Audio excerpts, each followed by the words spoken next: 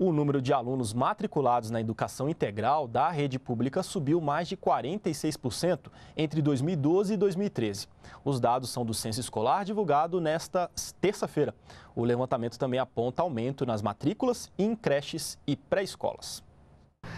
O censo do ano passado coletou informações de todas as escolas públicas e particulares do país. Em 2013, toda a educação básica registrou pouco mais de 50 milhões de matrículas.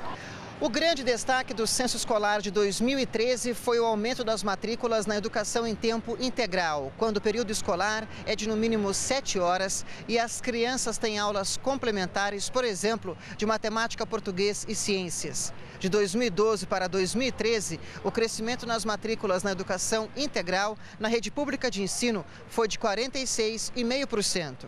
O MEC incentiva a ampliação da educação integral por meio do Mais Educação. O programa transfere cerca de 2 bilhões de reais por ano para a rede pública de ensino, priorizando escolas com baixo rendimento e onde os estudantes pertencem a famílias de baixa renda que estão no Bolsa Família. Demonstra que a política, o esforço que vem sendo feito da União com os estados e municípios de ampliar a jornada, que é fundamental para a melhoria da qualidade, tem surtido efeito.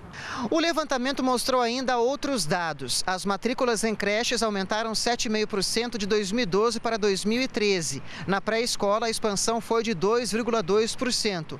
Já na educação profissional, o aumento no mesmo período chegou a 5,8%. Para o ministro da Educação, ainda há desafios, sobretudo no ensino médio. O ensino médio é um desafio que o país tem e nós estamos trabalhando exatamente para melhorar o ensino médio. Né? Tanto eh, em relação à formação de professores, fazendo com que a gente, com a formação de professores, possa trabalhar por áreas de conhecimento, redesenhar o currículo e, ao mesmo tempo, né, fazendo com que nós tenhamos um melhor atendimento na direção da profissionalização. Né? É, fazendo com que haja uma perspectiva para esse estudante do ensino médio de se profissionalizar a partir do ensino médio. O Pronatec é um exemplo disso.